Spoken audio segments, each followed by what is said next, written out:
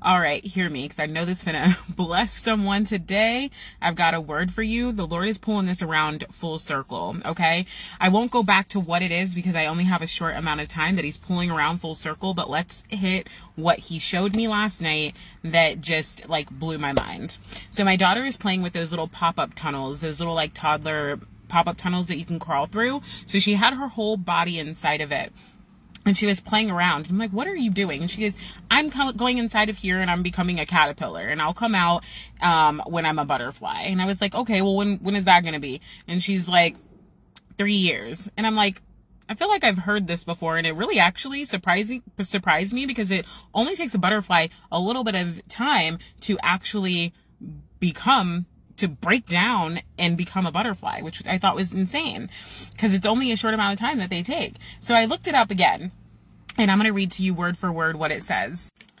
All right, many species of butterflies will spend less than a week undergoing metamorphosis. What is a metamorphosis? It's a transformation process that they go through inside the chrysalis. So caterpillar crawls inside the chrysalis and is literally liquefied and broken down into um, liquid and then is transformed into a whole nother creature, right?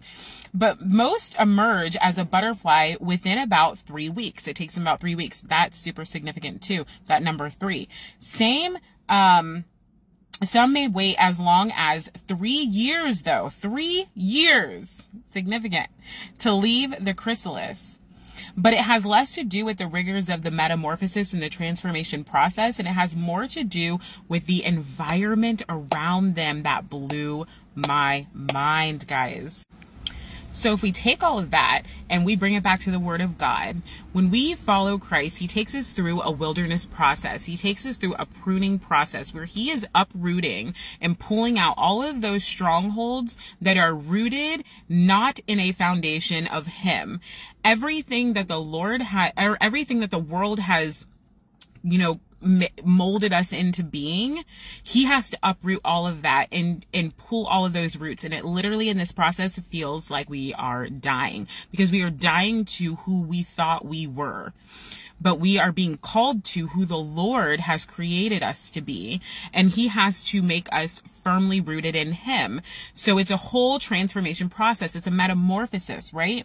So a lot of us are ready to break free. A lot of us are ready to get out of that chrysalis, but we're still stuck in that, those same environments that had us stuck in what the world created us to be.